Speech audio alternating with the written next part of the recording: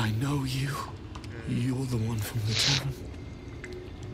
You smiled and joked and got me drunk. You... No. You're dead. You called me so many sweet things. My name sounded like a lyric on your tongue. Sebastian. You remember me. You were handsome. Shy. You'd never been kissed. You taught me how. And then you destroyed me.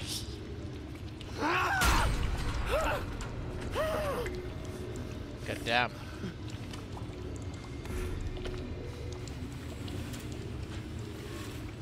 It can't be. Beneath the dirt and blood, you notice that every prisoner has a rune carved into their flesh. Ah. His scar matches one of the runes on your back. Then they're bound to the Black Mass too. Bound through the scars. Through me. Ah. I know these faces. Every one that shares my scar. They're my conquests. I pursued them, seduced them, and brought them to Cazador. He told us he was feeding on them, but he turned them to spawn. He turned every last one, so we'd have souls for this cursed ritual. How long? What?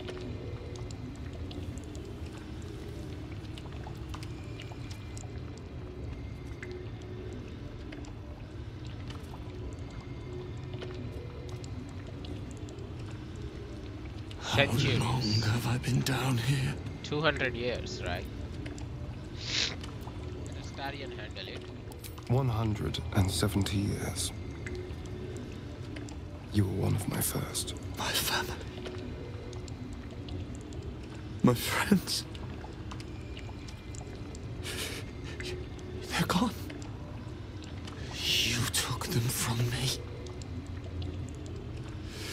You took everything from me.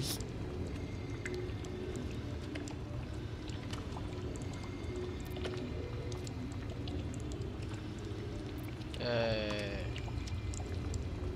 will set you free. How about it?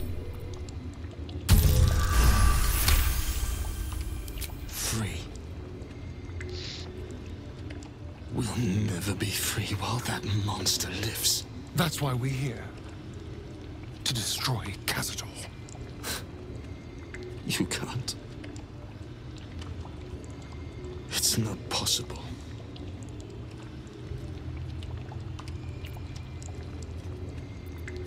We'll find a way. Where's the key to This yourself? stuff. It controls everything, Ah, but he never sets it down. You'll never get it.